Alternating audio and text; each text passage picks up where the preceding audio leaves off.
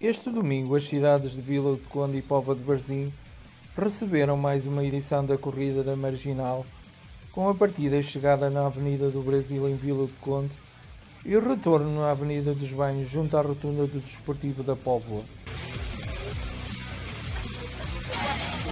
A prova, composta por uma corrida de 10 km e uma caminhada pais e filhos de 5 km, com retorno na Igreja do Nosso Senhor dos Navegantes nas Caxinas, teve uma duração máxima de 2 horas.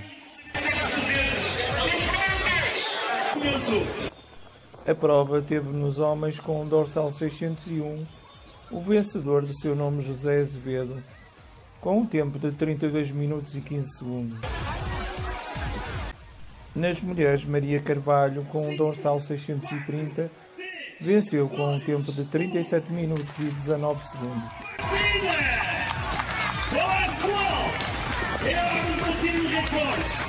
É hora de mostrar o quanto treinaram e a força que têm e como estão preparados para esta corrida! A Corrida da Marginal é uma organização da Pro Eventos, das câmaras municipais e juntas de freguesia de Vila de Conde e Pova de Varzim.